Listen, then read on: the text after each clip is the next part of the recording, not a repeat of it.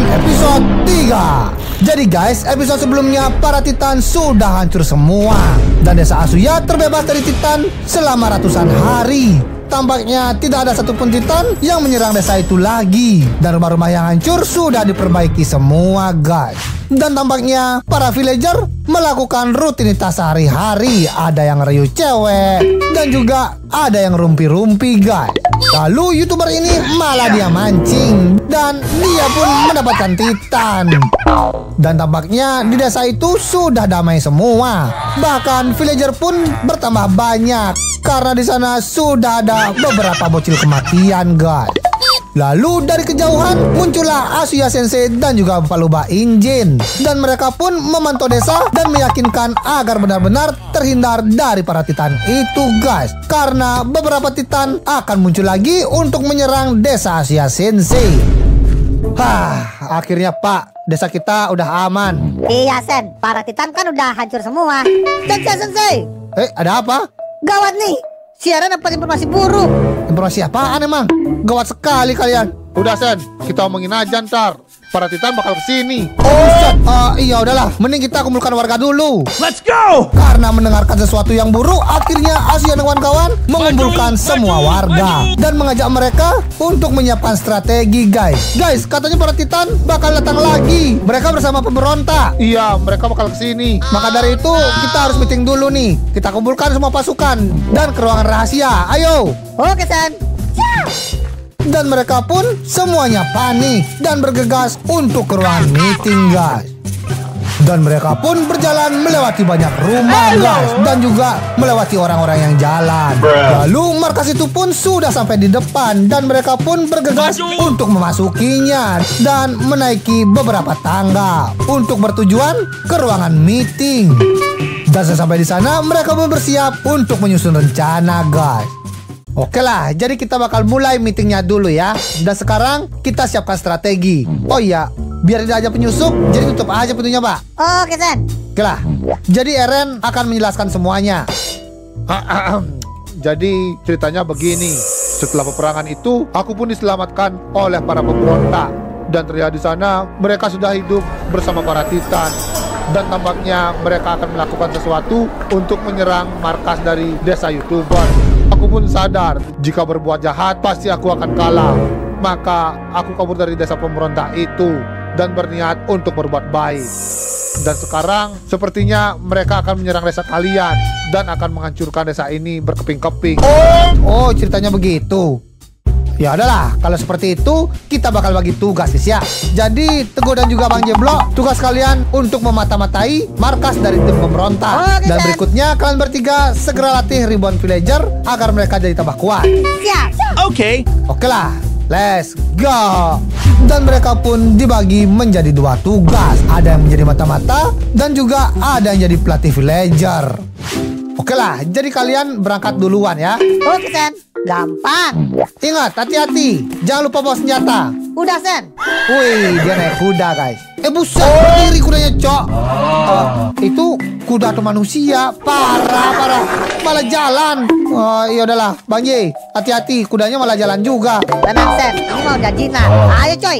Eh, buset, jina apaan? Malah keluar tulangnya, coy. Eh, mungkin dia kepanasan, Sen. Malah malu-malu kucing. Oh, Oke guys, jadi semuanya sudah bersiap untuk latihan. Eh, buset, mereka latihan naik kuda, coy. Ada juga yang latihan Naruto. Oh, anjir, belajar jadi wibu. Wibu! Tapi kalau ini mah normal. Jadi dia latihan memanah, guys ya.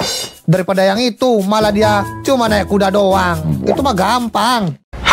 Easy! Ini latihan apa lagi, coy? Malah dia basket titan, parah, parah. Dari mana dapat titan dijadiin bola poli?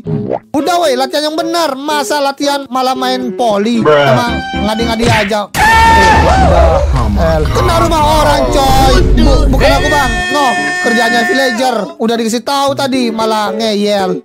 Dasar anak. Beneran bang, villager yang eh buset, ref lagi di domba. Perasaan tadi villager. Ya, bang.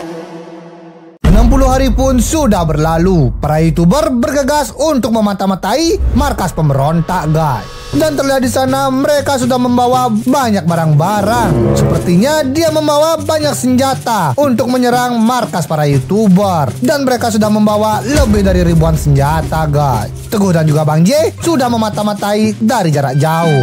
Wah, gawat niku. Mereka banyak bawa senjata. Kayaknya beneran mereka akan menghancurkan desa kita. Iya nih, kita harus lapor sensei. Oke lah, kita kabur dari sini. Dan mereka pun segera kabur dari markas para pemburu. Dan beberapa orang pun menuju ke tengah kota. Dan ternyata di belakangnya ada youtuber yang lewat. Dan mereka pun ketahuan guys. Eh, kayaknya ada yang jalan. Wah, itu kan para youtuber. Mereka memata-matai kita. Gawat nih, kita harus kejar mereka. Tunggu. Dan mereka pun dikejar oleh pemberontak itu guys. Gu, kayaknya kita ketahuan. Eh, beneran. Kabur Bang Jay. Kabur, kabur. Tunggu, eh, tunggu. Dan akhirnya mereka berdua pun dikejar oleh beberapa pemberontak guys. Karena sudah memata-matai markas ini. Dan Teguh pun mengarah ke sebelah pantai. Dan dia pun terpojokan oleh pemberontak itu guys. Tapi ternyata dia mempunyai kekuatan untuk terbang dan di sisi lain, Bang Jeblok masih dikejar-kejar oleh empat pemberontak itu guys. Dan dia pun terkepung oleh enam pemberontak. Wah, gawat. Kalau kayak gini, aku bisa tertangkap. Ayolah bang, aku mah cuman nongkrong doang di sini. Nggak ada ngapa-ngapain. Serius. Tapi tidak ada satupun yang mendengarkan kata-kata Bang Jeblo. Kemudian muncullah seseorang dari atas dan dia adalah pemimpin dari pemberontak tersebut. Dah, bang, bebaskan aku dong. Aku nggak ada salah apa-apa. Dan akhirnya Bang Jeblok pun dilenyapkan oleh kepala Titan itu. Dan yang selamat cuma Teguh Segianto guys. Woi, ngapain lu mainan air, coy? Kita siap-siap untuk kabur. San, San, gawat San, kita ketahuan. Bang Jeblok kayaknya ditangkap mereka. Eh buset, gawat nih. Kita harus segera kabur dari pulau ini. Mereka bakal ngejar kita kayaknya nih. Oh ya udahlah. Sekarang kita bakal kembali ke kota dulu, guys. Siap. Oke, San. Let's go. Setelah menyusup, akhirnya Asia pun mendapatkan informasi yang sangat berguna. Mereka pun segera balik ke kota untuk mempersiapkan diri guys dari serangan para titan itu. 350 hari pun sudah berlalu dan di kota sedang terjadi keributan. Mereka tim pemberontak akan bersiap untuk menghancurkan desa Asuya Sensei. Tapi tim Azuya sudah sampai di sana guys dan mereka bersiap untuk menyerang. Guys, kayaknya mereka melakukan rencana. Gawat nih, bisa-bisa kampung kita bakal diserang. Iya, San, kita harus lawan dia. Tapi ngomong-ngomong, lebak mana dia? Ya nggak tahu. Hah, orang lagi perang, dia malah hilang kocak-kocak. San, eh, kenapa, San? Saya kira ke mana kau? Sini, San. Bapak nemuin sesuatu. Eh, sesuatu apaan? Nih, ada orang mengamangan daging. Eh, buset, makan terus, Pak. Hehe, yakin saya sih nggak mau. Ah, ya udahlah, minta dikit, nggak ngaruh. Dan dari kejauhan muncullah cewek maid yang bernegosiasi dengan Eren. Dia pun mengajak Eren untuk memasuki ruangan tersembunyi. Dan ternyata dia mengajak ke arah pemimpinnya. Eren, ayo kita satukan kekuatan. Jika kita bersatu, tim Asuya pasti bakal kalah dan dunia akan kita kuasai. Oh, maaf, tapi aku tetap dengan pendirianku. Aku akan tetap berbuat baik dan menyelamatkan dunia ini. Jadi, jangan atur-atur aku lagi. Berubah! Dan Eren itu berubah menjadi Titan paling kejam di dunia. Dan dia bersiap untuk melawan pemberontak yang ada di sana, guys. Dan akhirnya cewek itu pun berubah. Dia menjadi Titan yang sangat besar, guys.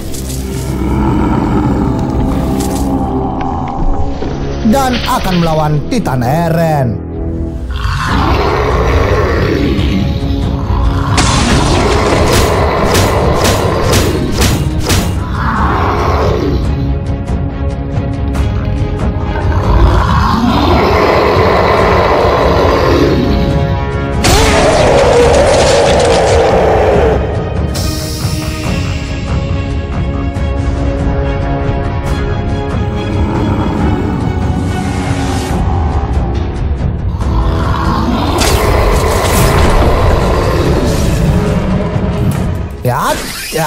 Ca. Meninggal kau. Ya, ah, Aduh. Dan Titan itu pun sama sekali tidak kenapa-napa guys. Dan Azuya dalam ancaman besar. Di next episode siapa yang setuju? Kita lanjut lagi part 4. Yang setuju jangan lupa kalian like sampai 20.000 like. Bye-bye.